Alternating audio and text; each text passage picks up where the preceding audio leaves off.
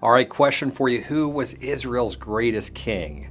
Uh, if I had to guess, you're going to say King David. That's a good guess, and maybe that's the correct answer, but I've got another answer for you, and that is King Hezekiah. Okay, Old Testament king. Let's look at three biblical statements about King Hezekiah.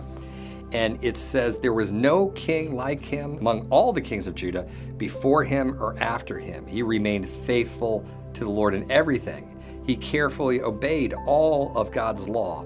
Now, those last two statements, they're not going to show up on my tombstone, maybe you, but not me.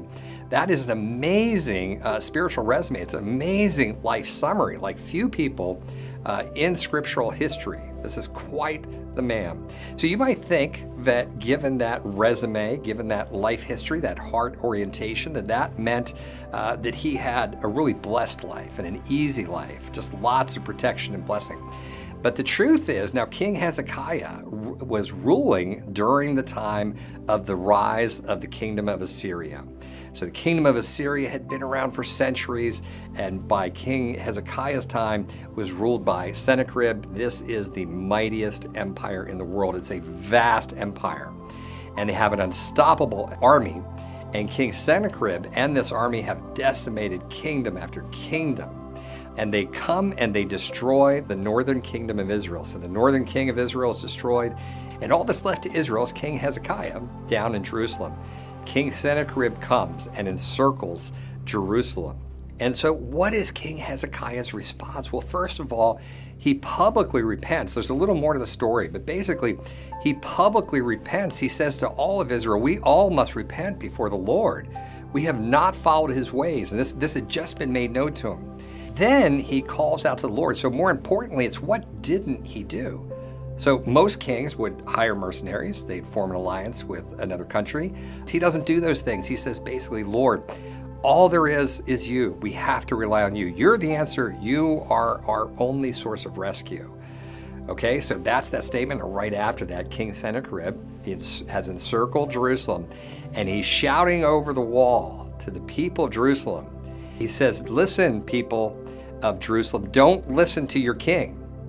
He says, There's no hope. Your God is no hope, and your army is no hope, and I am unstoppable. There's never been a force like us, there's never been a kingdom with us.